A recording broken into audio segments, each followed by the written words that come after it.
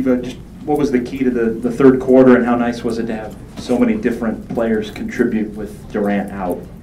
Uh, well, we, we threw it to our guys instead of their guys. That was pretty as, you know, as simple as it sounds. That's, uh, that's what happened.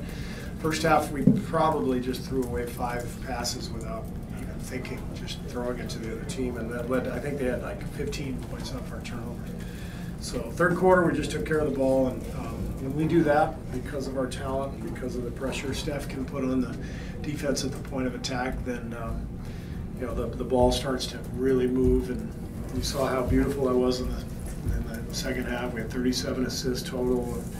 So it's all about uh, taking care of the ball and defending. And uh, the defense part, I'm really uh, pleased with. Um, I think this is about the fifth straight really good defensive effort we've had, so that's a great sign. Um, Nick Young kind of got some of those Durant minutes tonight. I want to ask you not about his shooting, but he had a couple defensive plays and an assist. I saw you really fist pump. Yeah. I, I like Nick's effort tonight um, at the defensive end. Uh, you know, he's pretty good on the ball. You know, I think he's his defense on the ball is his strength, and uh, he's got to continue to work on his off off ball defense. But uh, I loved his energy. I loved his intent out there. Um, he gets a little shy sometimes. I want to encourage him to shoot.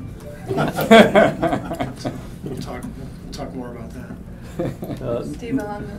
Oh. Go ahead, Coach. Oh. Uh, Nick Young, JaVale McGee, Shaun Livingston in that one stretch. Did you see something, some kind of chemistry with those three? Was there something with those three on the court that, that, that really clicked, you think? Well, I think uh, it's a combination that we wanted to go to before the game with KD out. Um, you know, JaVale gives us such energy, and, uh, and, and Nick obviously can shoot the ball. So um, you want Shaun out there to, to kind of orchestrate and settle everybody down. And uh, so that, that was really a good combination. I thought JaVale's minutes were fantastic, plus 15 and whatever, nine minutes, and, uh, great energy. And Shaun had a really nice night. So um, yeah, that was a good that was a good combination. Seemed to change the game a little bit.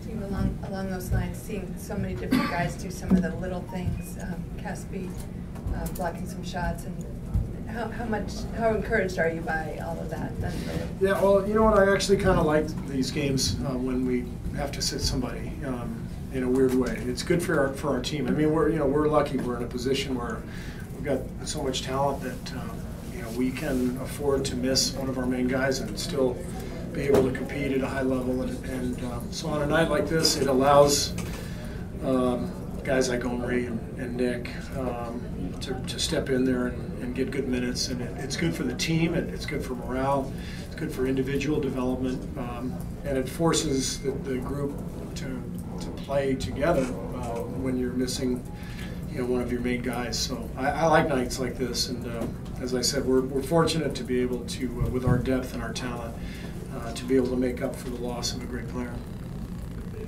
Steve, just the fact that it's so early in the season, I was wondering what was your sense going in as far as just the team's readiness to absorb any kind of absence like this with Durant? Uh, I felt good about it because uh, we've been rock solid now the last four, four or five games. Uh, our defense has picked up, um, and um, so I, I had no worries about playing without KD because I know we've got a lot of a lot of guys who know how to play and, and uh, some vets. And Omri's just like the, just a fantastic um, piece to have. Um, I don't even know what his role is from one night to the next. Um, I guess that's what his role is, is just to be ready. And um, I, I, I never know before the game when I'm going to put him in. Um, but I know when I put him in, he's going to do a, a, great job and keep the, the action going with his cutting, his energy, his defense. So he's been a, a tremendous addition. Um, Coach, Andre had a solid game with, with 11 points. So, um, and what did you think of his performance tonight, just being inserted in the game, uh, inserted the starting lineup for the first time in two years? Has it been two years? Yeah, wow. regular season. Yeah, yeah. Uh, you know, Andre. Uh, Andre's Andre. We always know what we're going to get from him, which is great defense and uh, directing the team as a kind of a point forward. Um, but uh, I was I wanted to put him in the starting lineup to um, to play him with uh, with that with the backcourt of Steph and Klay, so he could play make and also hopefully get a couple open looks, and uh, which he did. He knocked him down. So it's a good night for uh, for Andre and for everybody, really. To follow up to that, how, how big was his uh, his ultimate willingness to come off the bench in 2014 for, for your, for what you had coming in as a new coach? Well, I've said this before, but Andre's uh, willingness to come off the bench set the tone for everything that we do here. Um, and, and that uh, acceptance and uh, unselfishness still resonates with our group. Um, I can always point to Andre's sacrifice that year as you know, kind of setting the tone for who we are and what we do, and um, that's why when uh, you know when we play everybody and and you know some guys don't get big minutes and um, you know it, it could go either way. You know the way we do things because you're you're trying to keep everybody happy, but when you do that, sometimes you can upset some people.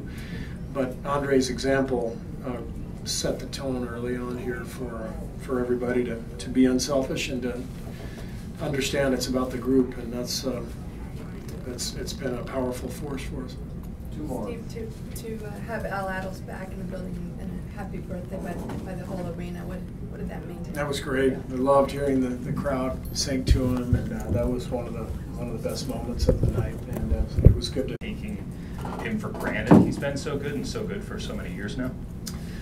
I don't know. I mean, we marvel at what he does every single night. Um, but I think part of the package with Steph is that you know he's so fluid and loose, um, uh, which makes him great. But it also means some games he'll throw the ball to the other team, you know, a couple times, and you're like, what What is that? You know, and and uh, and he comes to the sidelines. He's like, I don't know what I'm doing. And, um, but what he does in, in every other in every area, really, defensively, offensively, is, is just so forceful um, that you live with a few turnovers, and you you know you hope that, that he makes you know, better decisions, which he did in the second half. Um, but the guy is just. Uh, it's just stunning, really, the impact he makes. Um, I've, I've never seen anything like it. I mean, there's uh, obviously been so many great players in this league who've dominated, and you know, you think about Michael Jordan immediately, or, or Larry Bird, or Magic, and uh, you know Shaq.